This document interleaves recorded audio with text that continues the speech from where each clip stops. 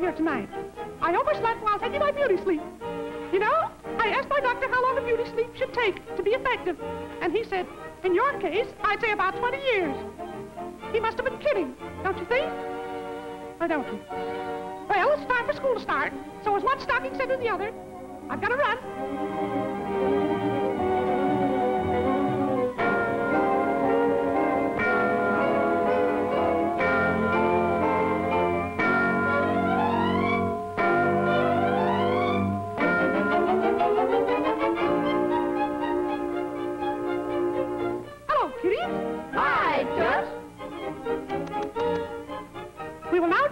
Are you ready? All righty.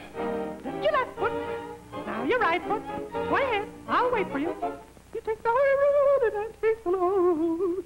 Have you got it? Now lift both feet. Now where are you? Next, we will have our questions. Willie, what are the chief races of mankind? Oh, the chief races of mankind uh, are the Kentucky Derby and the Irish Sweepstakes. Elmer, tell us what the hide of a cow is used for. Huh? Who, me? Yes, you.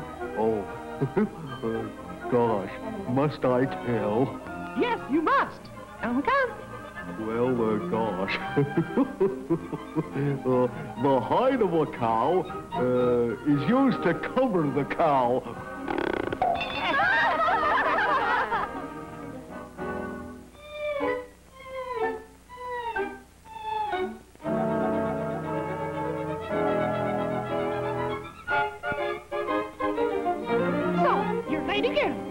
Your excuse this time? Well, I left home early and was running along, minding my own business.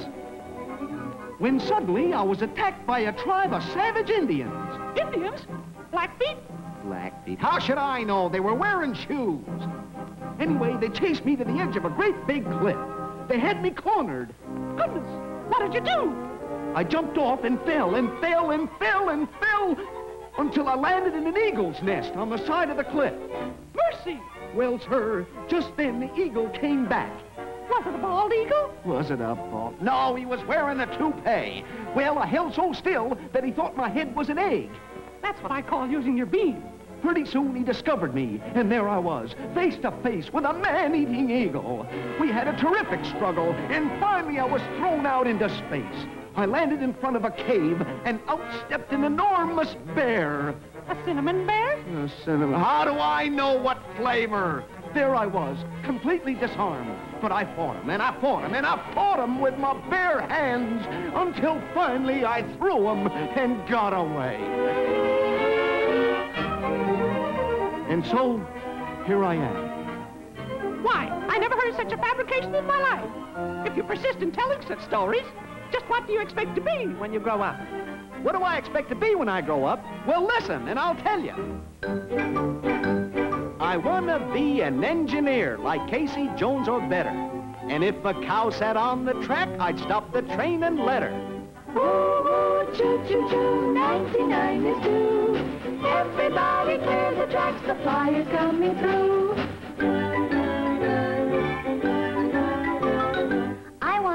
A movie star, a vision dressed in sable. I couldn't help being popular in scenes with Clarky Gable. Now they're acting on the set, my hasn't she got grace? She'd make a lovely Scarlett if it wasn't for her face. A fireman's what I crave to be, and those in danger say, Nothing ever bothers me. Oh, heavens, but I'm brave. The siren shrieked at three, alarm at Percy's in a trance. His engine took off like a charm, but he forgot his pants. Now I intend to lead a band composed of rhythm boys. And even if we don't play grand, we'll make a lot of noise. Well, shut my mouth. If Dad ain't keen, you shore's a swell band master. I'd like to do my dance routine, so please, sir, swing it faster.